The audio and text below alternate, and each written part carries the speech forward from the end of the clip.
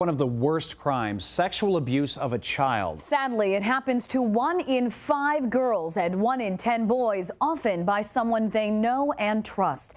In tonight's special assignment, photojournalist Mark Schilling and I bring you one woman's journey to bring her sexual predator to justice 35 years later.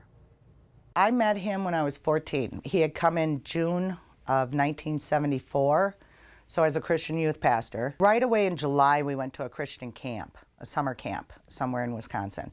And that's where he started to groom me. Lori Asplund was your All American girl. She participated in youth group, ran track at Big Foot High School in Walworth County, and was prom queen. But her innocence was quickly taken away. We played trust games. We would play a game where he would go up my, my inner thighs and say, Well, do you trust me not to pinch you?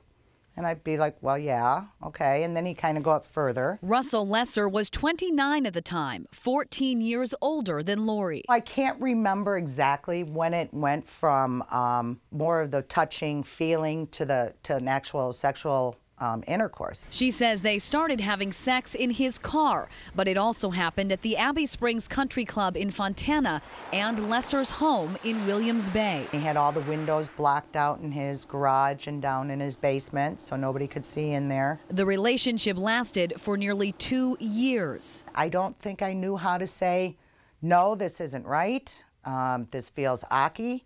We never talked about sex within my family. I just know at a certain point, it just felt very, very wrong. Lori and her family moved away, and she eventually told, but she wasn't ready to go public. I didn't know if people had believed me because he was very well um, liked and popular. I was probably 24, 25 when I started to think, can I get this guy? But by then, the Wisconsin statute of limitations, which at the time was only six years, had expired. Nobody wanted to touch it.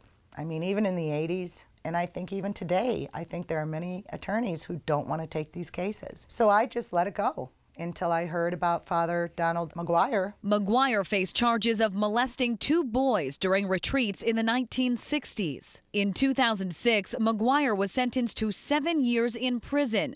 36 years after the crimes were committed. Because the offenders did not live in the state that tolls or stops the running of the statute of limitations uh, for the entire time that they're out of the state. So, because Lesser moved out of Wisconsin shortly after committing the crimes, the statute of limitations never ran out, giving Lori the opening she needed to bring her attacker to justice.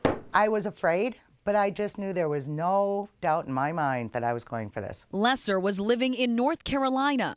After a two year investigation, authorities arrested Lesser and charged him with three felonies, including sexual intercourse with a child. After he was arrested, then I did get scared. Didn't matter who I had told or that I had already given a statement to the police and it was already taped. Didn't matter. If I disappeared, the whole thing went away. Lesser pleaded guilty and was sentenced to 10 years in prison. It was just such a sense of relief. I didn't cry. I didn't I didn't do anything. It was like, thank God he got it. This was the defendant himself saying he was guilty. So I think that that helped show the world Lori was right all along. But Lori's work wasn't done. Here's an excerpt from my book. She spent three years documenting her journey to justice, and in her self published book, she speaks candidly of the pain, shame, and humiliation of being a victim of a child sexual assault. It was just, um, I think, a God whisper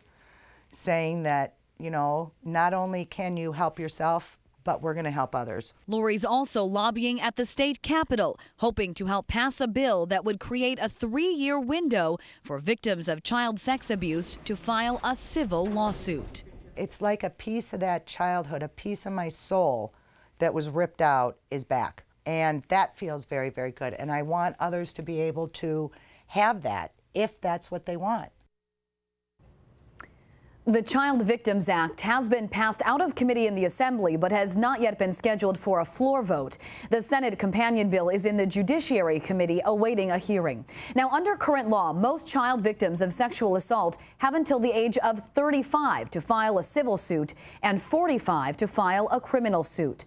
Lori's book is available for purchase online. And while there, you can find a number of resources. The Department of Justice Office of Crime Victim Services has a list of victims' rights as well as links to state programs and local service providers. And we've posted all of this information on our web channel under news links. And John, just to give you an idea, in Dane County alone, there are nearly 20 organizations that are working with victims of child sex abuse. So it shows how prevalent this problem is, but that there are a lot of resources. And for people like Lori to have the courage to come forward and share her story, it's so important for other people to maybe seek help.